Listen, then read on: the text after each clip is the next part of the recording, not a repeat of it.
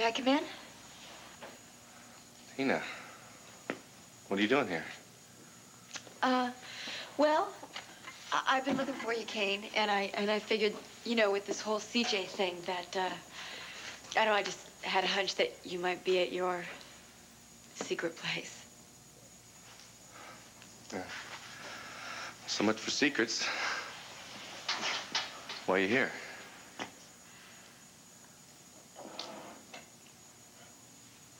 Why are you here, Tina? I, uh... I, I wanted to thank you for helping helping us uh, find CJ. I don't, I don't think we would have done it without you. You know how much CJ means to me. It's everything I want a kid.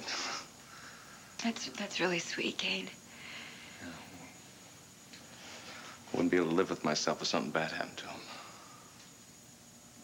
I know.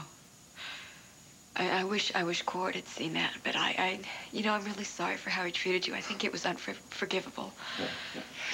I don't think Cord's ever going to be the president of the uh, Cain Rogan fan club, you know? and, you know, I guess I don't blame him with all that's gone down between us. I mean, you know, he's missing a kid. I probably would act the same way. I doubt it. But that's a very, uh, very decent thing for you to say, Cain. I never uh, thought I'd hear those two words, Cain and decent, the same sentence coming from you again.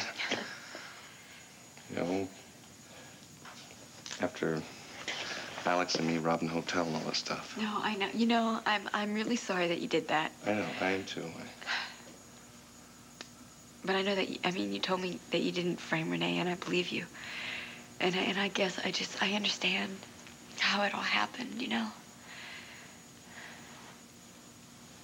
Thanks.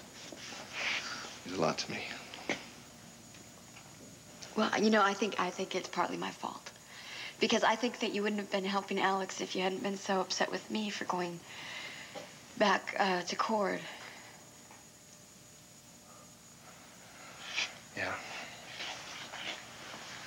Well, you know, thanks for coming by. Uh, I imagine you probably have to get back to Cord now, don't you? Uh, you, no, I don't. I'm not going anywhere.